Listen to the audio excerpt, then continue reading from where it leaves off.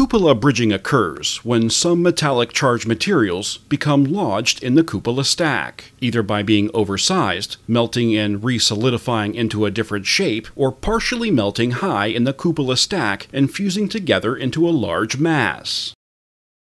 This large mass then lodges in the cupola stack, thereby resisting downward movement.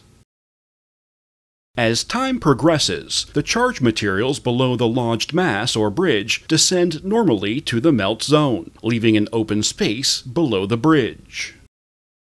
As cupola bridging is a serious condition, it should be identified quickly if possible, so that actions can be implemented to eliminate it.